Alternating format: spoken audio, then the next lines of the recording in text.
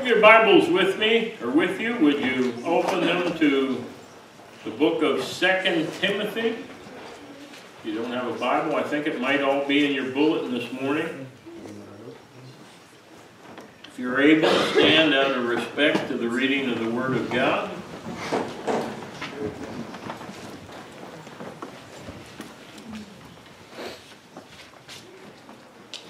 Begin reading in chapter 1 of 2 Timothy and then go to chapter 3. Chapter 1, beginning at verse 3. Paul says, I thank God whom I serve from my forefathers with pure conscience, that without ceasing I have remembrance of thee in my prayers night and day, greatly desiring to see thee, being mindful of thy tears, that I may be filled with joy. When I call to remembrance the unfeigned faith that is in thee, which dwelt first in thy grandmother Lois and thy mother Eunice, and I am persuaded that in thee also.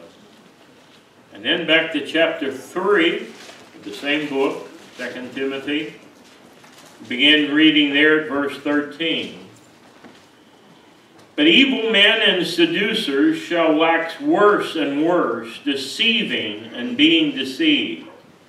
But continue thou in the things which thou hast learned, and hast been assured of, knowing of who thou hast learned them, and that from a child thou hast known the Holy Scriptures, which are able to make thee wise unto salvation through faith which is in Christ Jesus.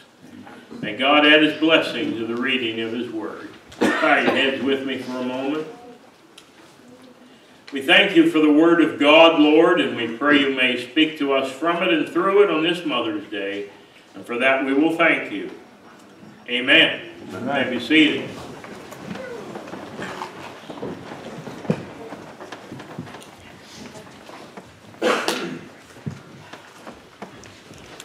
Of the great stories told about moms in America, in American folklore, was told about a child named Thomas.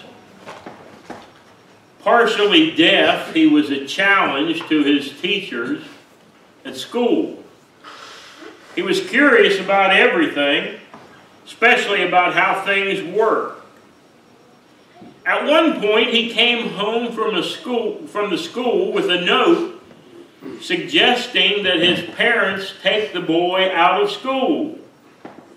The note said, Thomas was too stupid to learn. So his mom decided to give it a try herself. And she did a pretty fair job of homeschooling. Years later, at Thomas's death in 1931, Americans paid tribute to him by turning off their house lights for one full minute. You see, it was Thomas whose inventions paved the way for incandescent lighting. That son was, of course, I'm sure most of you got it by now, Thomas A. Edison the boy who was too stupid to learn. Who knows, the world might still be in the dark if his mom had not taken on the task of teaching a son who the school had branded as too stupid to learn. For Thomas Edison, mom was truly the best teacher. Now, I've always tried to be careful about getting too sentimental about motherhood because for some, motherhood is nothing more than an accident. And it's not always a welcome one. For other ladies, biological motherhood isn't even possible. And Mother's Day kind of has a bad ring to it for them. And for some, they think about their mothers, and their mothers weren't all that nice. And for others, motherhood, even under the best of circumstances, is still less than a bed of roses. But on this Mother's Day, I'm preaching without apology about the time honored institution of motherhood. Whether she was a good mom or a bad mom, without her, you wouldn't even be here. That's right. So ponder that a little this morning. So just because of that fact, I believe she deserves some honor and some respect from you.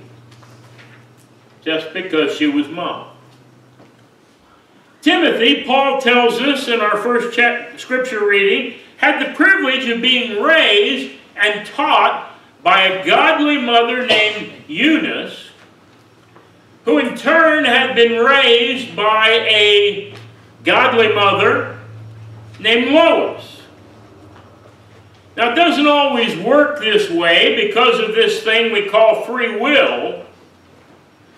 But Timothy was the product of their godly teaching. Sometimes even godly women have children that turn out to be anything but godly.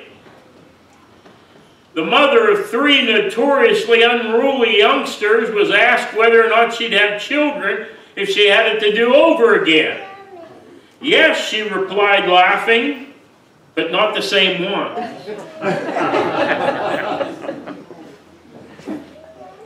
Charles Spurgeon said, I cannot tell you how much I owe to the prayers of my good mother. I remember her once praying, Now, Lord, if my children go on in sin, it will not be from ignorance that they perish.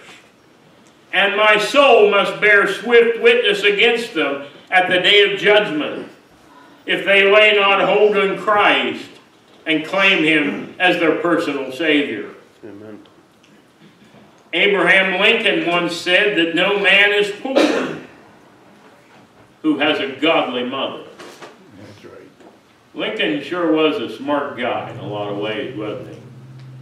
I just heard this morning on the news that California has a law up right now to get rid of celebrating Lincoln and Washington's birthday and instead celebrate the Communist Workers' Day. Imagine. Timothy surely would have said amen to what Lincoln said about a godly mother.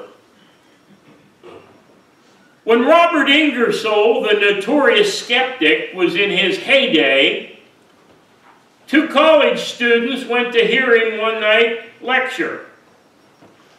And as they walked down the street after the lecture, one said to the other, Well, I guess he sure knocked the props out from under Christianity tonight, didn't he? The other said, No, I don't think he did. Ingersoll did not explain my mother's life. And until he can explain my mother's life, I will stand by my mother's God. Amen. Amen. Paul tells us here in our second scripture reading that evil men and seducers shall wax worse and worse, deceiving and being deceived. That describes our day perfectly. Evil is trying in every way imaginable to destroy the home, the family, even the very idea of motherhood. But Paul's advice to Timothy was to continue in the things which he had learned and been assured of, knowing of whom thou hast learned them of, he said. Who did he learn them from? Well, Timothy had many good teachers, including none other than the Apostle Paul, and he'd be a pretty good guy to say you sat at his feet and learned from him. But the best teacher of all had been his mother, and even his grandmother. See, Paul wasn't around when verse 15 said, From a child thou hast known the Holy Scripture, Who was primarily responsible for seeing that that happened in Timothy's life. I think most of you are smart enough to see that it was his mother, Eunice, with some help from a godly grandmother named Lois. I hope you had or have a mother like Washington Irving described in this next quote. He said, The love of a mother is never exhausted, it never changes, it never tires, it endures through all, in good repute, in bad repute, in the face of the world's condemnation. A mother's love still lives on. A mother can only love like that if she draws on God's love as her source for that love. Now, when I think of drawing on love's source, it's hard not to think about Corrie ten Boom. Corrie ten Boom's family all died in Nazi concentration camps. What were their crimes? They were guilty of hiding Jews in their homes. Somehow, Corrie survived the whole ordeal. The war was over. The death camps had been liberated. And Corrie was speaking in various churches, sharing about God's love and forgiveness. How it can be found even in the midst of a horrible place like a Nazi concentration camp.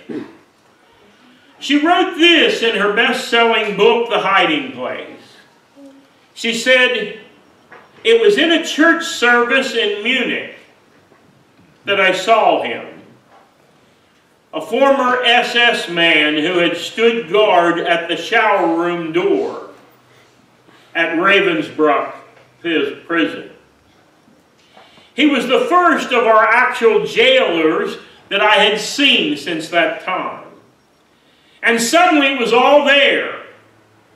The room full of mocking men, the heaps of clothing, my sister Betsie's pain-blanched face.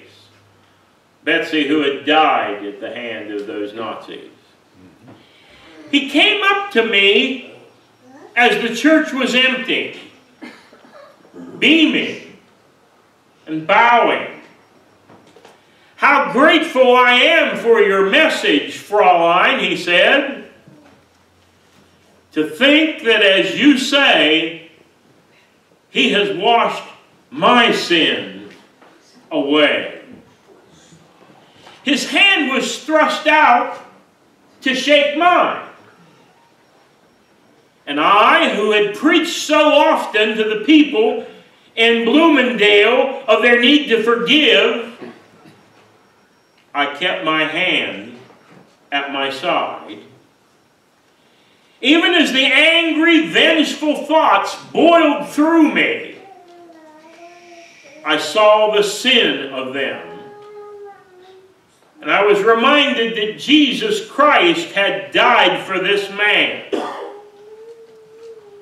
Was I going to ask for more. Lord Jesus, I prayed, forgive me and help me to forgive him. I tried to smile. I struggled to raise my hand. I could not. I felt nothing. Not the slightest spark of warmth or charity. And so again, I breathed the silent prayer as he stood there with his hand out. Jesus, I prayed, I cannot forgive him. Give me your forgiveness. As I took his hand, the most incredible thing happened.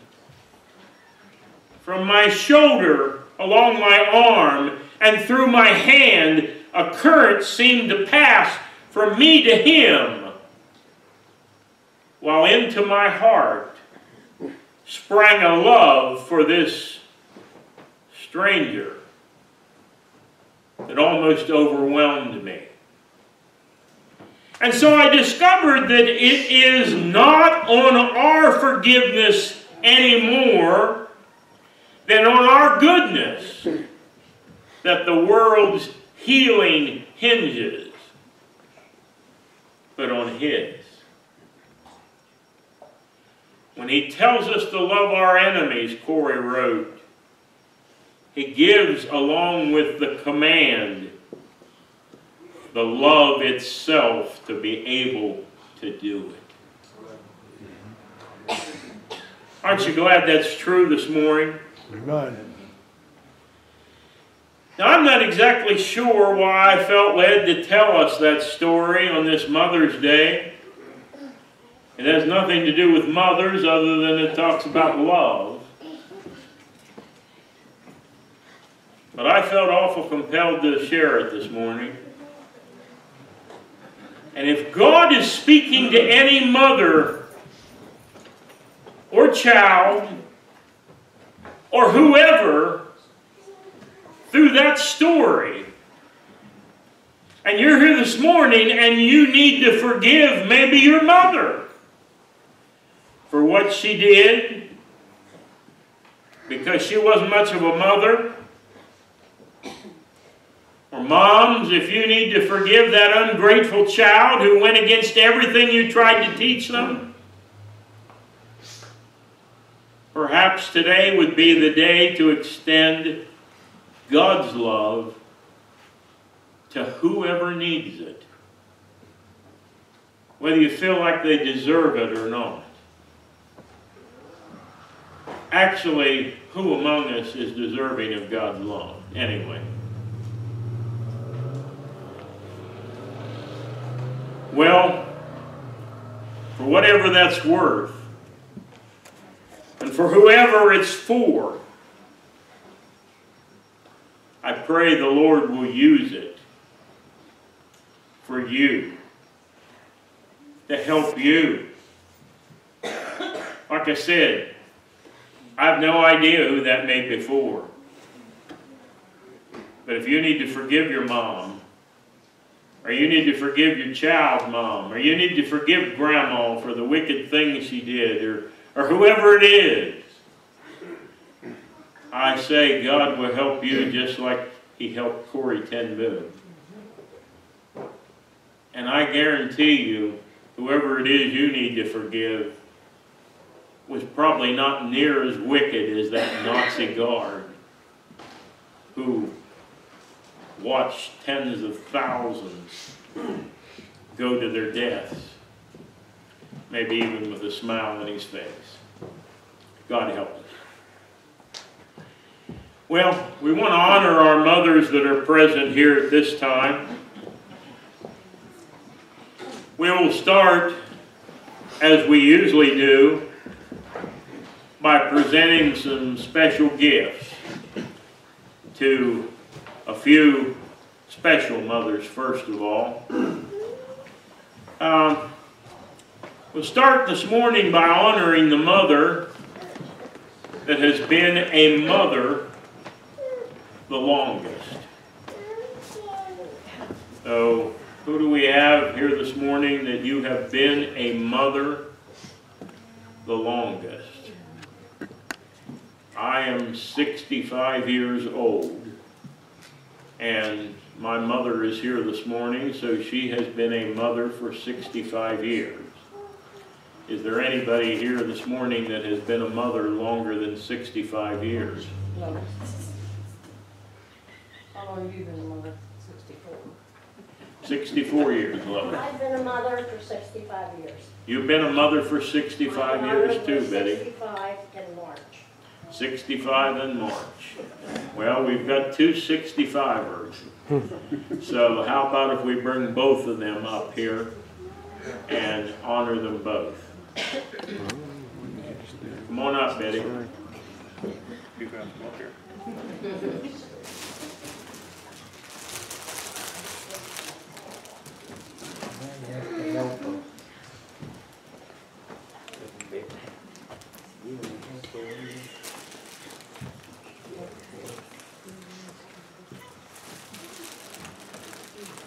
Them separately? Put them together. Do them both together, and then I wanna come down and make sure I get to hug my mother. You come down, you come down your mother. Okay. How's that? I'll present them to both of them. How's that? Betty, God bless you. Mom, God bless you. Turn around here. Go ahead. Come over, Betty. Come over here. Picture. Come on over here, Betty. Turn around here, we'll get your picture over here. Okay. There you go. Okay? Yep. Look Get here. both of them together, and then I want you to get one with me and my mom. Okay. Okay. Give them both a hand.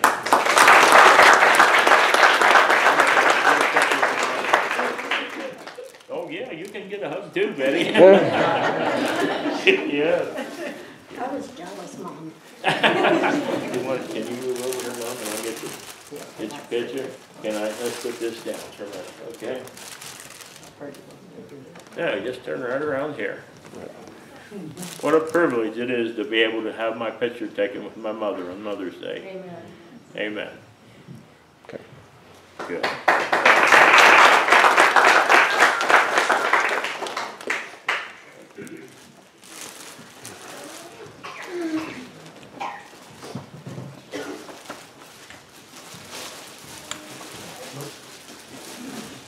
In forty-four years of being in the ministry, that is only the second time I've had the privilege of giving my mother a flower from some, for something like this in church on Mother's Day, so that's quite a privilege for me. All right, we have another gift here this morning for the mother with the most children and grandchildren present this morning. Grandchildren. Hmm? And great grandchildren. Yeah, well, great grandchildren are grandchildren, so yeah. So the mother with the most children and grandchildren present this morning. How many do you have back there, Helen? It would be seven if I could count Matt. Well, I can't count her. Well, six. Six. And a half. How many do you have? And a half. How many? Nine. Nine? Do we have any, I don't think we have anybody but more than nine, do we? Nine? Okay, going once, going twice. Come on up here, Shelby. You can bring that one along if you want.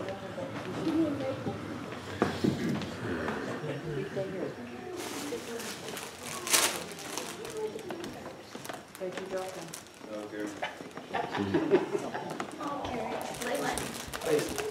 Get back there. Get back there.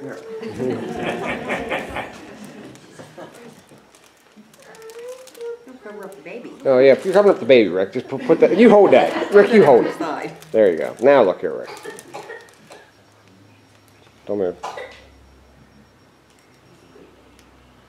Okay. I'm sure it's an honor for Rick to give to his.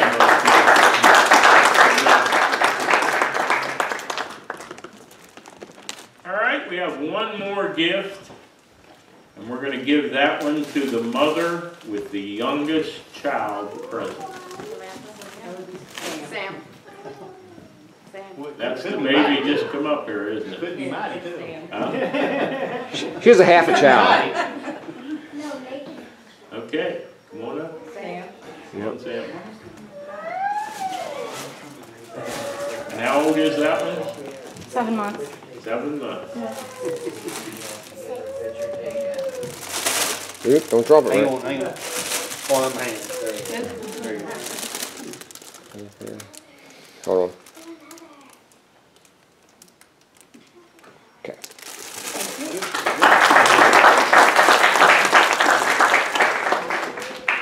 All right, now you all have known me, I never fail to do this on Mother's Day. Many moms and grandmas have told me, don't, if you ever stop doing anything, preacher, don't stop doing this.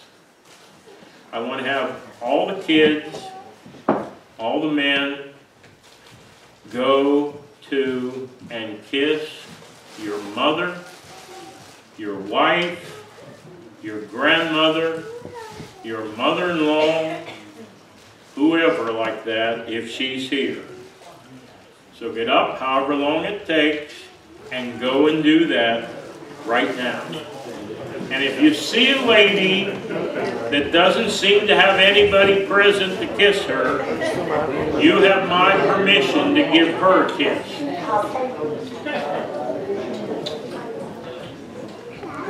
Make you stand up.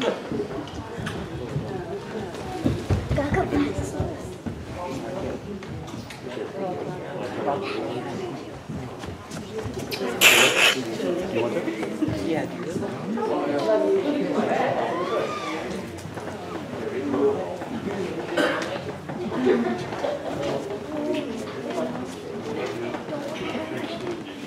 there's a camera there. I'm not a mom, honey. No. No, okay,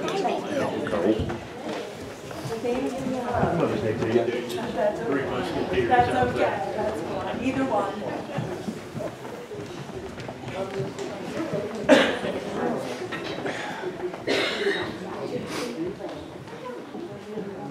Now, there's somebody here, I'm sure, that will tell you that if you don't do that, I pull ears at the door of anybody that doesn't. So if you haven't got your, your kiss yet, some of you are still going at it, you take as long as you need. Make sure you get one, and if you don't, you tell me, and I'll pull an ear. That's one of the nicest things I think ever goes on in the church.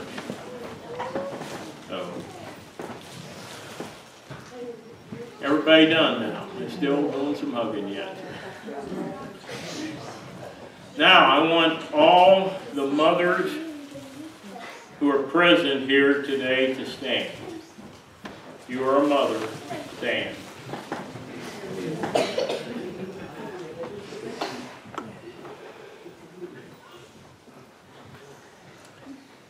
What a nice group of ladies. Now, how many of you are grandmas too?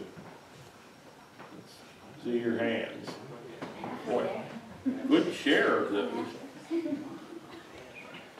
Mhm. Definitely can't wait. Gra- Grandma to be. Grandma to be. How many great grandmas? One, two, three, four, five, six. Now, I know you're all great, but how many, do we have any great great grandmas? No, it's up here, Jill. Only great great grandma? Okay. Let's give them all a hand.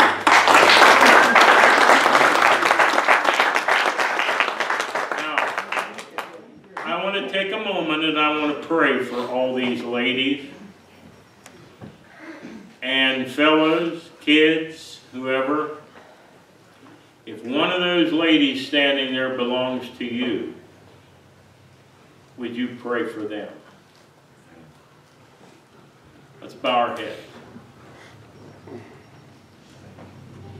Thank you so much, Lord, for each one of these precious ladies present here this morning in our congregation. Many of them are a vital part of this congregation. Thank you for how you have helped them with what I think is probably the hardest job in the world to be a mother. Bless them. Not just on this day, but bless them. Bless their children. Bless their grandchildren. Bless their great grandchildren. May they grow up and call these precious ladies blessed.